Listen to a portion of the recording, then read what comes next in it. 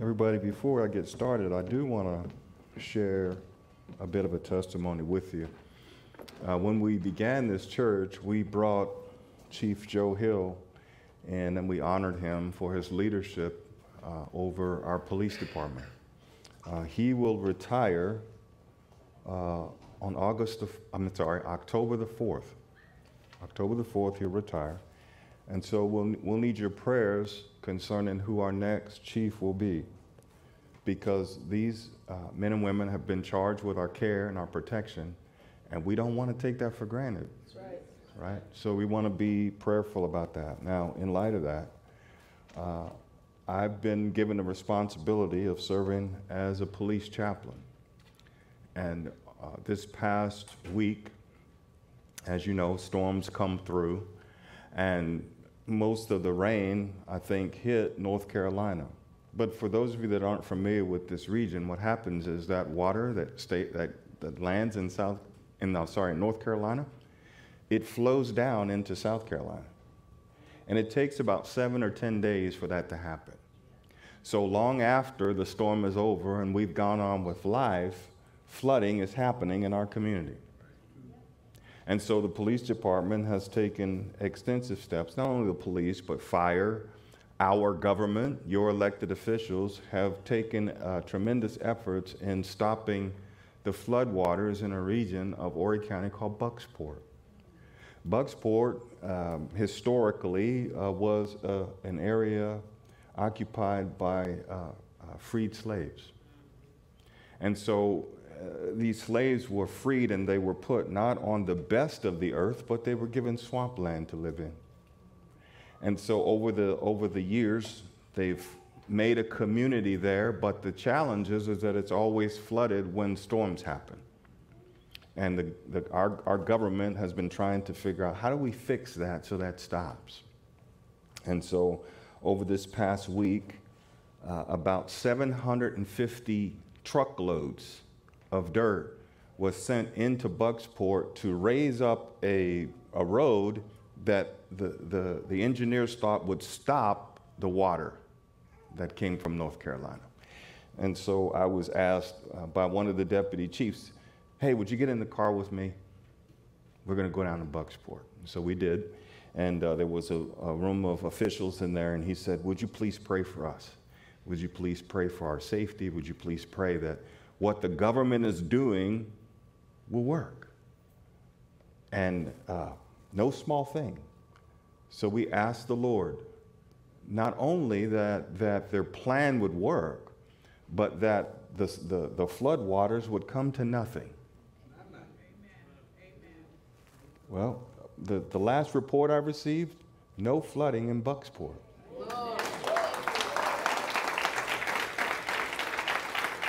For that, uh, I'm thankful for our government. I'm thankful for our first responders.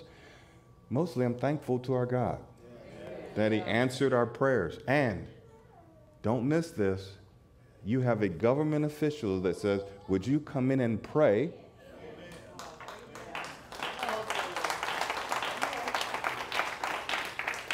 Would you come in and pray in the name of Jesus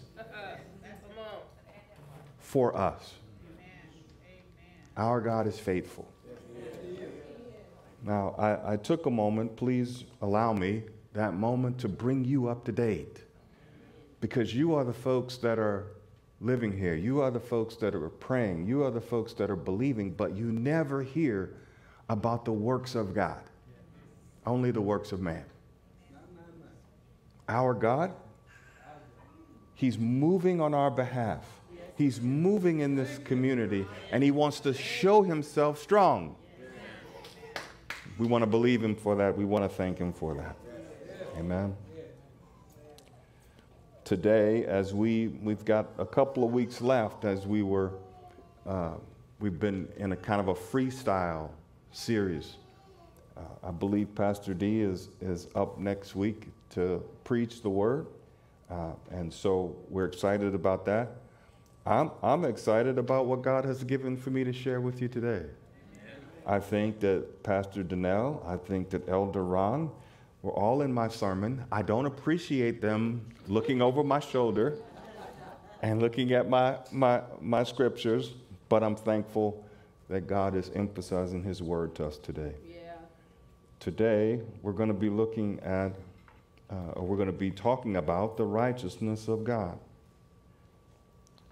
We'll begin over in Romans 3, but I'm not, I, I just want to, I want to lay some groundwork, okay? So let's go to Romans 3.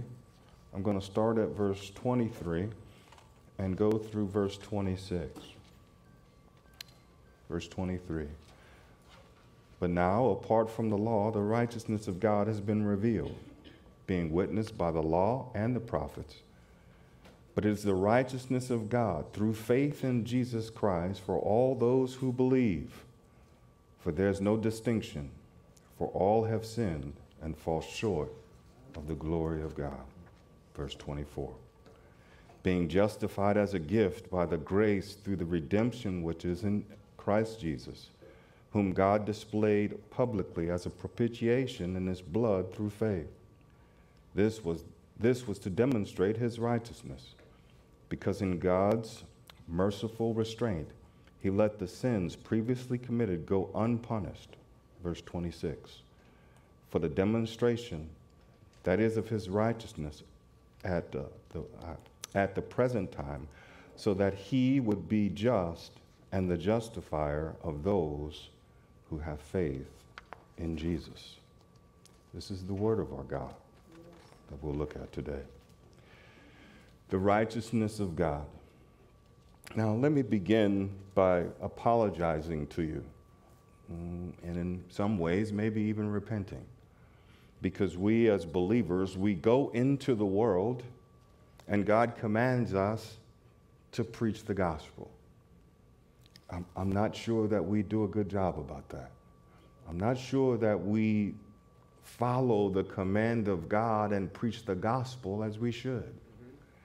Now, before I go forward, I may also give you a caution that if you're wearing open toe shoes, sandals, or you need to raise your feet, please do now. It is not my intent to step on your feet, but it's my intent to inspire you to do all that God has created you to do. It cost God all that He loved for us. And He did it unashamedly. And we're going to be talking about that. As I say that I apologize and repent for our failed efforts to fulfill the will of God by preaching this gospel, we talk about God in ways that really He doesn't. We go into the world and we tell people, God loves you. You know, God loves you, and God loves you, and God loves you, and God loves you, and God is love. And for unbeliever, for unbeliever, there's a disconnect because we never really talk about the God that, uh, that they might even believe. They have many questions. How is God God, yet He's a God of judgment and He's a God of mercy? He's a God that destroys, yet He is a God that brings life. He is a God of war and yet he's a God of peace. There is a disconnect in the minds of men and women about who God is. Yet the gospel really doesn't emphasize his love. The gospel emphasizes his righteousness. And we really don't talk about it like we should. Today, it is my hope that it's the responsibility of this leadership team to train you and to prepare you for the work of the ministry. This is what today is. It is my hope that when you leave here, the testimony that comes out of your mouth is both gospel and it preaches the truth about the nature of who our God is, the fact that He is righteous the world's misunderstanding about who the God of the Bible is will be cleared up as we move forward in these truths. The world has many questions about our God. Well, if God is God, and there are people that say, I don't believe in God, there are people who say, ah, I'm not sure that there's a God at all. And there's a people that say, I believe in God, I believe in God. Yeah, but what God? Because there are many. There's one true and living God. There's one God of the Bible. There's one God Almighty, the God of Abraham and of Isaac and of Jacob. That's the God that I'm presenting to you today. Because our failure to do that would cause somebody to stumble. God, if you're God, why did my loved one die? Why did my friend die? Pastor D and I, we lost our second baby. We were a young couple in love with one another, in love with the idea of family, and in love with God. How in the world would a loving God allow for us to u- lose our baby? Hmm. How would a loving God allow for us to be molested, both boys and girls? Why would a loving God, you fill in the blank? It's a struggle, y'all. And when we go out into the world and we begin to talk to the world about a God of love, there's a disconnect because they go, Well, if He loved me, He wouldn't let this happen to me. The challenge is the love is by our own definition and not His own. God is righteous. We're going to talk about what this is righteousness. But I want you to know that the God of the Bible, He's always right. Somebody didn't hear me. So here we go. I want you to I want you to say, just look at me, don't look around. Just look at me and say the God of the Bible, of the Bible. is always right. Always. All right, now look at your neighbor. Say neighbor. neighbor. The God of the Bible, of the Bible. is always right. always right. Now, finally, look down at your at your flesh. Look down at your flesh and go, flesh. flesh. The God the Bible. Of the Bible. He's always right.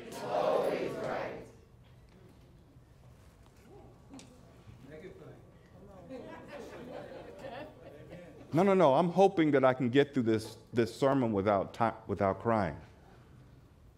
He's always right. One of the commands that God gave to the children of Israel, one of the Ten Commandments, the ninth one was, does anybody remember? Do not bear false witness. The God of this world, not the God of the Bible, the God of this world is Satan. Is Satan. Everything that he does is a lie. Everything that he does is untrue. Everything that he does is unholy. Everything that he does. And he wants you to blame God for the situations that we live in. The God of the Bible is always right. This world, different story. Who's in leadership? Different story. The excellent candidates that you and I get to choose from to make our president in 2024.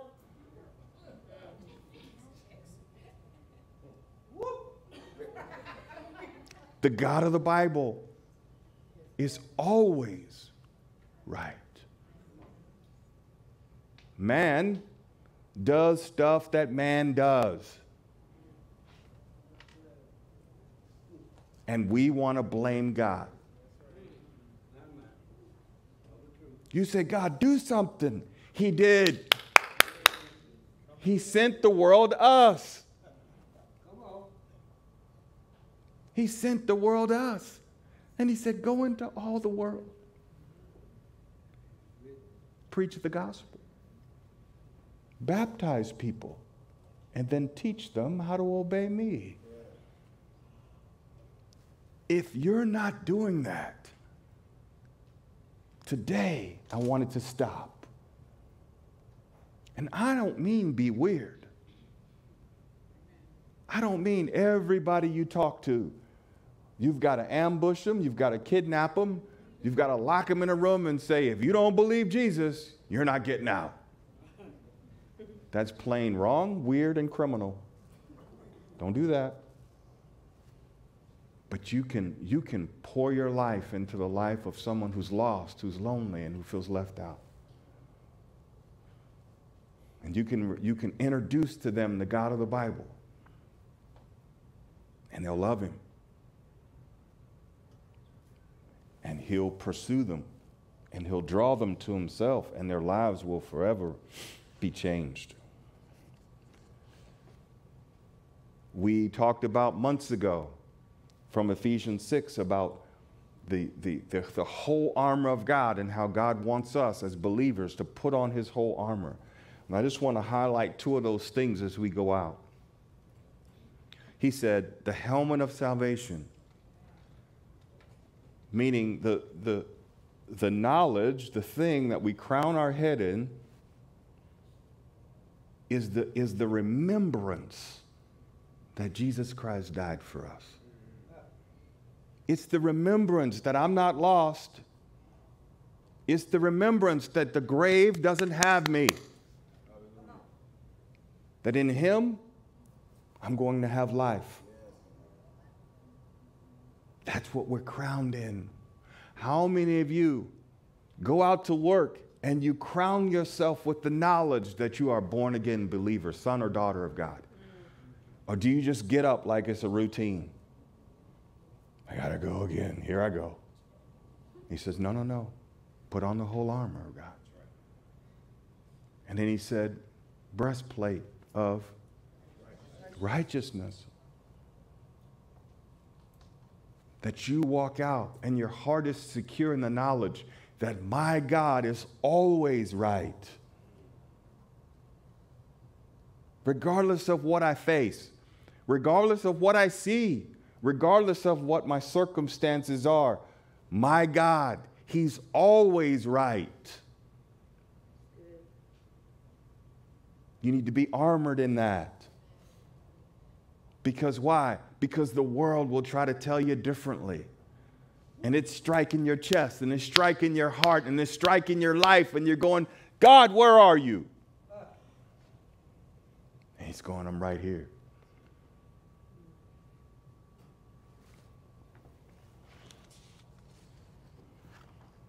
these truths from Romans 3, how can we attain these things?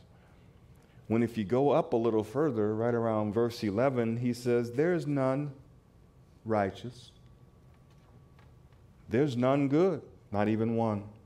There's no one who understands, and there's no one who seeks after God. Hmm.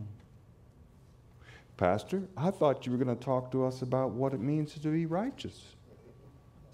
Yet the Bible says there's none.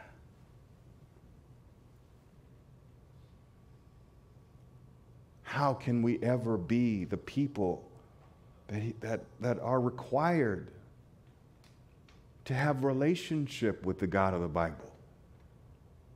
How can that be when he says there's none good, there's none righteous? There's none that think the way that I think. There's none that understand the way that I understand. There's none that do the way that they should. None means nobody.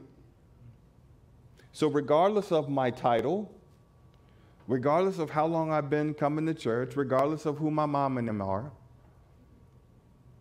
there's none. None. I think that the God of the Bible is masterful in how he teaches us. I want to highlight from Romans 3:21 through 23 where it talks about and fall short of the glory of God. My wife's favorite translation, the Amplified Version, says continually fall short.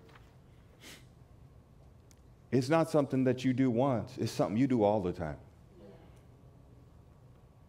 Every time we open our eyes, we miss the mark. Every time we try to do the right thing, it doesn't work out kind of the way we hope that it would. Then what hope is there for us, y'all?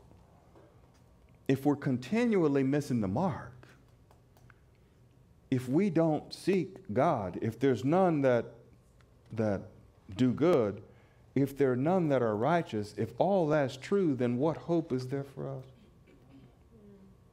We'll get there. Let me begin by saying by uh, giving you a working definition from Merriam-Webster. The dictionary writes, righteousness is acting in accord with divine or moral law, free from guilt, free from sin.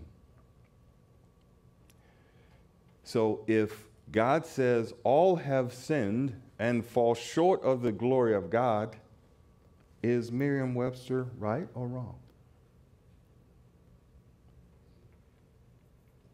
Our God is always right. You see, if we go by this definition, then we, we, we, we are continually subject to being beat up by the enemy who says, You're not born again.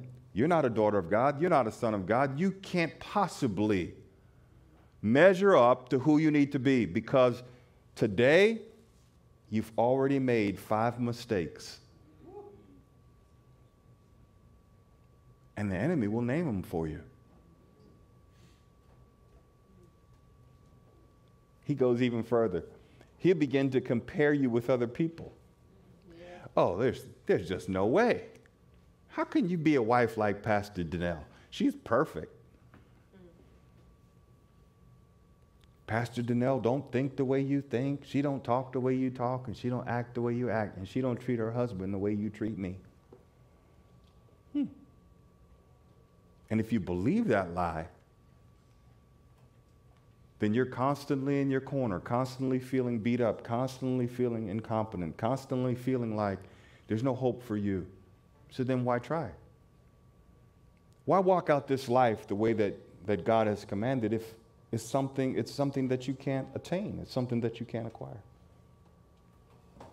Be careful. The Bible says righteousness.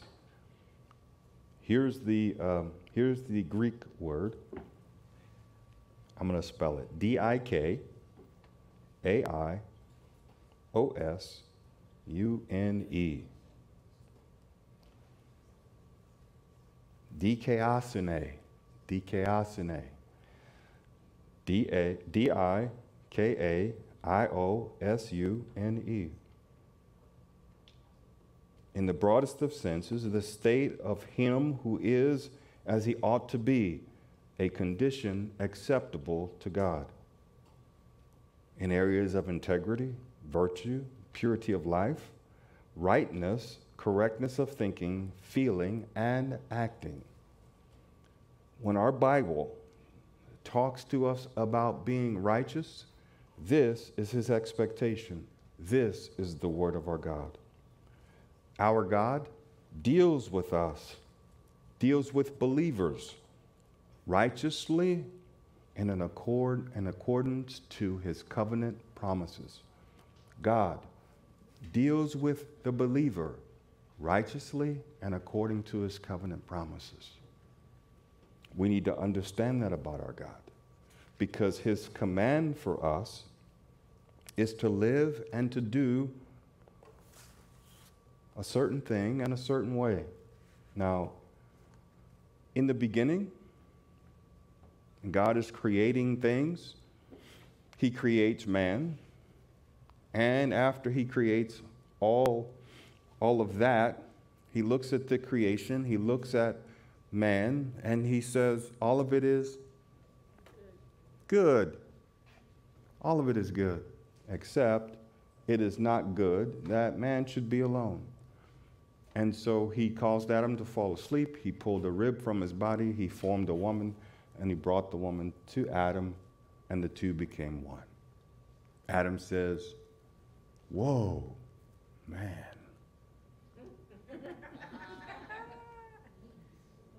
this bone of my bone and flesh of my flesh. Hmm.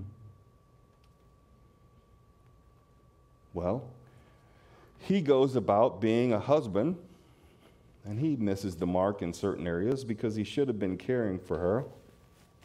He should have been guarding the garden when he did not. But anyway, the enemy gets in there, and the enemy begins to talk to his wife. And theologians believe that Adam was standing right there. Uh, husbands, you ought to guard your wife in such a way that when the enemy comes up against her, don't you stand there. You drive that enemy far away. Anyway, Adam did. He allowed for the conversation to happen. Eve is deceived. Then he follows along with his wife. They eat the fruit in violation of God's command. Now they know that they're naked and they hide themselves. They not only hide themselves, but they cover themselves naked. So I'm going to cover myself. This is how y'all look. You cover your sin. To cover your sin is never quite efficient enough because depending on what angle you stand or how you try to cover, somebody, somebody's sin is going to be exposed. You should laugh because that's how you look. When you try to hide from God, when you try to hide your sin, I don't want nobody to see. Listen, when I was growing up, we had basements. And we went down in the basement and we turned off the lights. And sin happened. Whatever it was. Because nobody wants to sin in the light.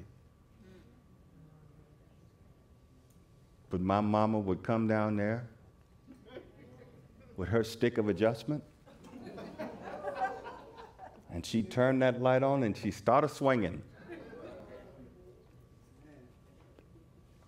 Or people in my generation, I'm not going to pick on the younger folks, but people in my generation. Do you remember when you was down in the basement and somebody would accidentally turn the lights on? Turn that off. Why? Because you're trying to hide your sin. Not only did they try to hide their sin, but they hid from God. Our God pursued them. Adam, where are you? No matter what your mistake is, the God of the Bible pursues you. He pursues you to have a relationship with you. He pursues you because he cares. He pursues you because he wants you to be made right with him. You run, you hide, you cover. God, when he realized or when they realized what they had done, God said, okay. He metes out the consequences of their actions. An innocent animal is then sacrificed, and then God clothes them in the skin of an animal. Maybe, maybe you'll get it on the way home. Man covers his sin. God clothes you. So no matter which way you turn, no matter what angle anybody's looking, you are clothed in him. Now, that animal was a type of Christ. The animal did nothing wrong. but the animal had to shed its blood for their sin. For without the shedding of blood, sin is not forgiven. Sin costs a blood sacrifice. Man covered, God clothed. Hmm.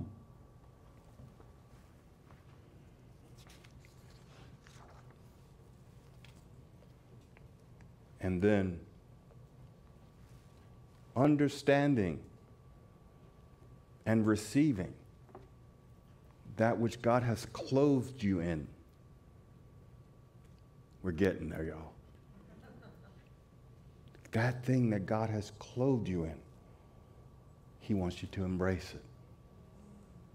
He wants you to receive it. He wants you to have it. How do we get there? By a belief in what we've already read Jesus Christ. You see, Abraham believed the Lord, and the Lord counted it to Abraham as righteousness. In order to be clothed in the righteousness that God wants to clothe you in, you must believe in Jesus. So your righteousness is locked in the sacrificial work of Jesus Christ on the cross and the gospel message of who he is. So when God says, go into all the world and preach the gospel, the good news, people are struck with the sacrifice of Jesus Christ. on their behalf. And when they believe that, righteousness clothes their life. Yeah. No longer covered, clothed.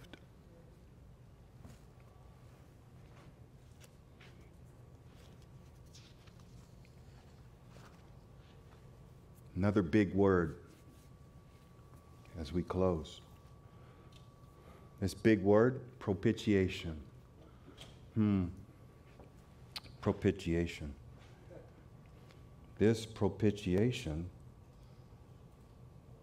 takes on two meanings, or two, there, there are two uh, accomplishments of Christ's work on the cross on our behalf.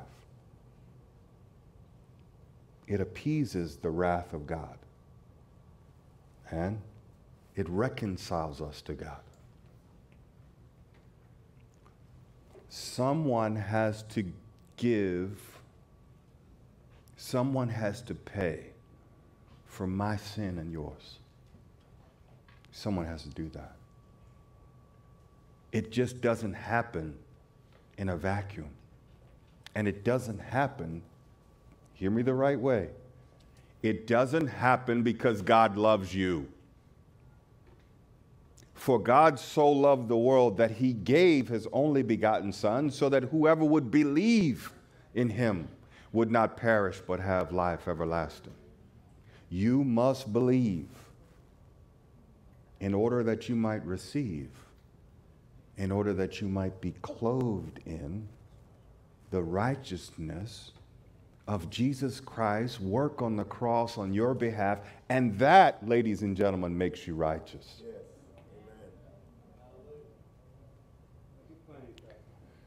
So, excuse me.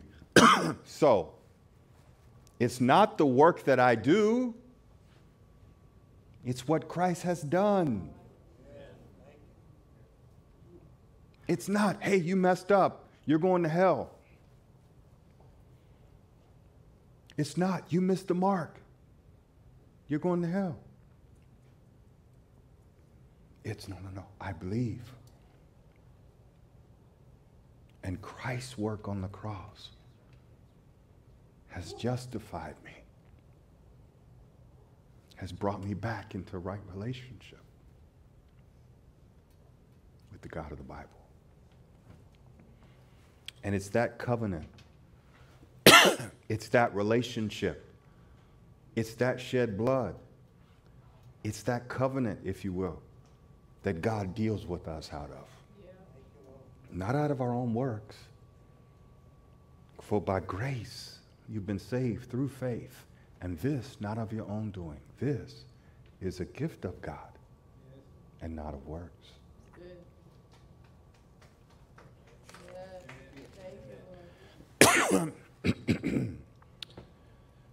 to be justified,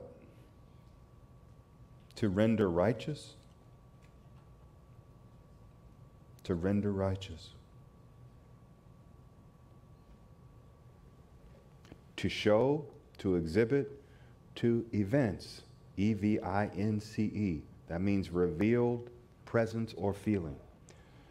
One to be righteous, such as he such as he is and wishes himself to be considered, to declare, to pronounce, one to be just, righteous, or such as he ought to be. In order for you to be who you ought to be in God, it requires your belief, like your brother Abraham, your belief in Jesus Christ and in his sacrifice for you, for us. This, ladies and gentlemen, is the good news. This is the gospel. And when we sit in our seats silently, when we stay at home, when we don't go into our communities, and when we don't preach the Bible, we are not responding as believers. Because the only thing that would keep you silent about a truth that you know is that you really don't believe. Because if we really believed, we would take somebody, we would share with somebody, we would drag somebody in here, we would tie them to a chair. We would say, You need to encounter the true and living God. If we really believed,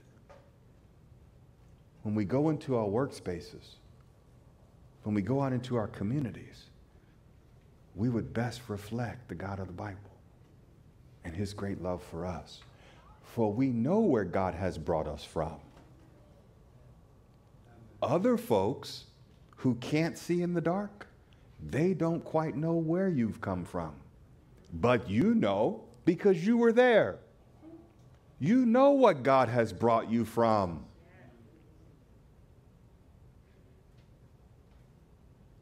So when you go out and witness, it's not necessary for you to have every scripture and verse at the tip of your tongue. It's really not.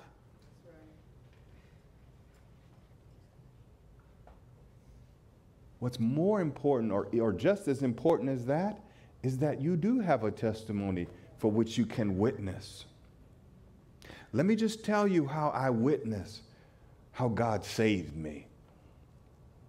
I witnessed how, how God brought me through. I witnessed as to how God healed me. I witnessed as to how God, fill in the blank. I'm a witness. And when you witness, nobody can argue that about which you've experienced one to one. They might say, Oh, I disagree. You can disagree all you want to. I walked it, I lived it. I know it. Been there, done that. Now, as we go, you have been made righteous by the work of Jesus Christ on your behalf. Thank you, Lord. You, you can go ahead and celebrate that.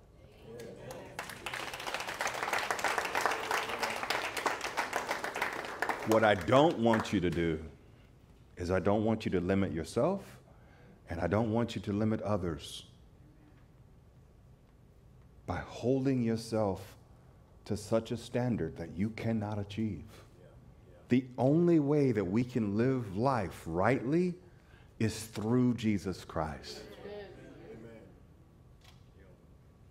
If you rely on man, man's going to make you feel this way on Monday, but I guarantee you on Friday, you'll feel another way.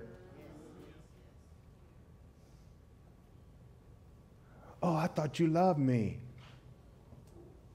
I, I, I thought we was friends.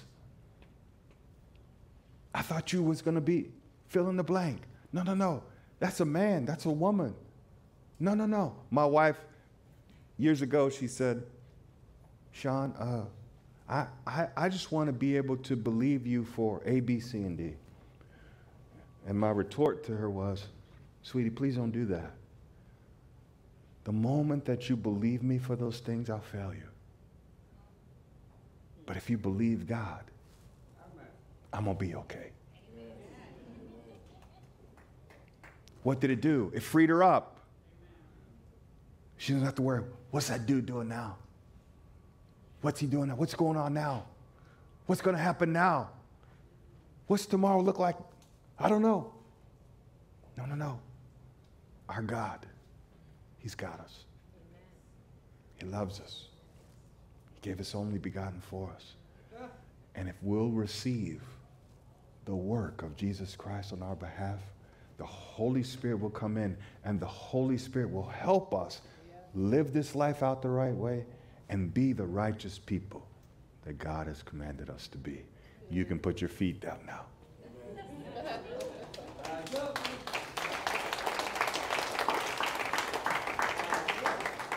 Thank you.